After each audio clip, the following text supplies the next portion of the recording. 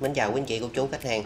Đã quay trở lại với kênh nhà đất quận 12 Hôm nay em Phúc đang có mặt tại đường nhánh của đường Tôn Ngọc Vân để giới thiệu tới quý anh chị một căn nhà, một trệt một lầu. Căn nhà chúng ta có diện tích chiều ngang là 3m2 chiều sâu là 8m đường trước nhà là 7m ô tô, xe tải vào thoải mái, hẻm thông, thuận tiện cho quý anh chị à, buôn bán nhỏ lẻ hoặc mở à, tiệm nail hoặc xì ba. được chủ gửi bán với giá là 1 tỷ.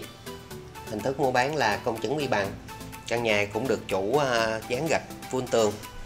Vị trí căn nhà là nằm ở đường Tô Ngọc Vân, một sạc khúc gần với à, quốc lộ 1A và từ vị trí căn nhà chúng ta về Gò Dấp khoảng à, hơn 1 km căn nhà của chúng ta thì được xây dựng 100% trên đất thổ cư và đã có số nhà của quận cấp.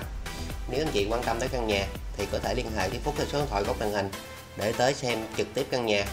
Một căn nhà nhỏ với giá đúng 1 tỷ, rất thích hợp với những cặp vợ chồng mới cưới, muốn ra riêng. Cầu thang thì được đúc thật.